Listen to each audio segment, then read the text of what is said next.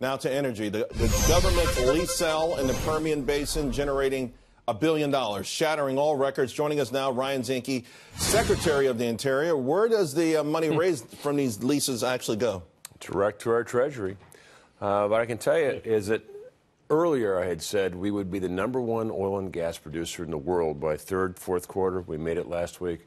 The United States is the largest producer of oil and gas in the world. What, uh, what does that translate into barrels? Are we at 11 million? Uh, a little over 11. Okay. We can go to 14, but we're all the above too. We have a offshore lease on the East Coast. We're looking at the largest offshore lease, and basically, I don't want to ever be held hostage by a foreign entity over our energy needs. I don't want to send your kids, my kids on foreign shores to fight for energy. And environmentally, it is best to produce energy in this country under reasonable regulation than watch it get produced overseas with no regulation.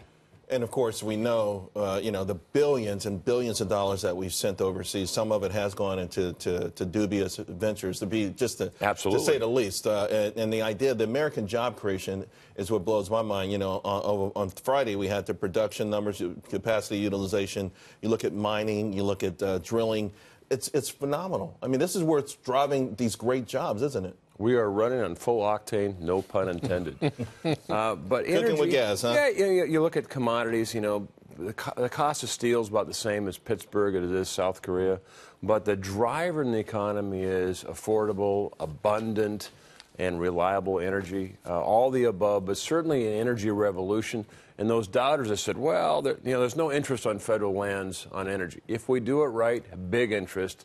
And, and, you can, uh, and, you can, make sure that the environmentalists are, are, taken care of. In other words, their concerns will be uh, appreciated and, and, taken into account. We don't skip any NEPA. Well, what we do do is we make sure the energy portfolio is done correctly. Again, it is better to produce energy in this country under reasonable regulation than to watch it get produced overseas. And if you don't believe me, I'll take you on a tour of Africa and the Middle East if you want to watch how energy no, should no, be no, produced. No, we, we believe you. Real quick, too, before I switch topics, uh, liquid natural gas. Is there any way to speed up the process here? Uh, I mean, the world needs our natural gas. It's an amazing market. Uh, you know, we, we get it so cheap here. We can sell it around the world for two, three, four times what we produce it here. Yeah, some of it is infrastructure. Is that our infrastructure? Can we speed up the permitting process? Can we get that going? It felt like there were a lot of roadblocks put in place under the last administration. Well, we're doing everything we can to streamline the process so you have one federal decision, you know, rather than different bureaus right. saying the other thing. And that's been an enormous effort with the Trump uh,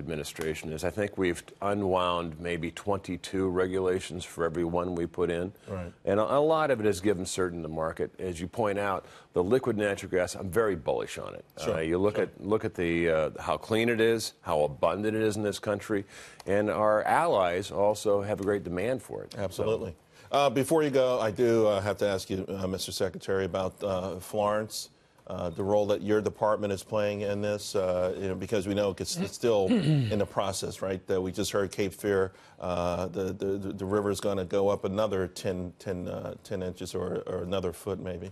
Yeah, and, and uh, Interior's role is a lot of it's search and rescue, but the response is we're, we're saying, look, look at your neighbors because the response is local, state, and federal last.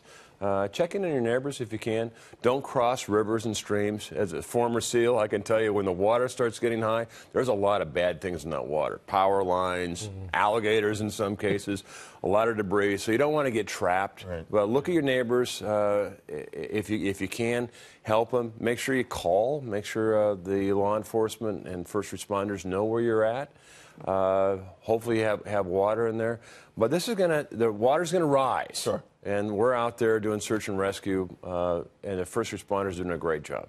Well, congratulations. Great, yeah. great news. Uh, people don't know that oil and gas is an American story these days. I'm glad you're out there spreading the word. Congratulations. All the above energy. There you go. Made in America. Thank you very much.